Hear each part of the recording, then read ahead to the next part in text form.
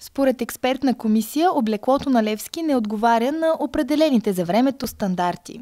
Въпросът беше за елементи от дрехата, че не били автентични според епохата на самата скулптура и за едно стъпало ставаше дума дали да го има или да го няма, но така големите експерти в Министерството на културата това са решили, че е най-важно и са го записали в становището. Ние сме дължни да се съобразим с това становище. В рамките на следващите две седмици ще бъде готова гипсовата отливка, а след това ще е нужно одобрението на комисията.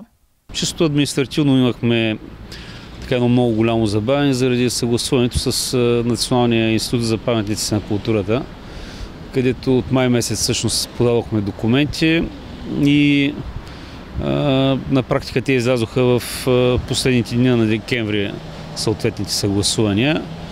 А за скулптура Даниел Кънчев работата по фигурата продължава. Хипотезите са много. Бил ли е Левски тук, не е ли бил, бил ли е свързан с Русе, не е ли бил свързан с Русе, нали, или въобще какво се случва, какво се е случило. А, считам, че Левски всеки трябва да го носи в сърцата си, в сърцето си и няма как до миналата, не до по-миналата година по скромната информация, която аз имам, в България 132 паметника на Левски имаше. Нали, за две години не знам още колко са се направили и сигурно и ще продължават да се правят. Защото това е, нали, това е светиня. И как, защо да няма?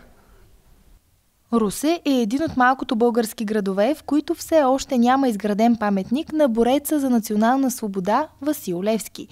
А скулптурът има нелеката задача да осъществи мечтата на няколко поколения русенци – фигурата на апостола да краси край Дунавския град.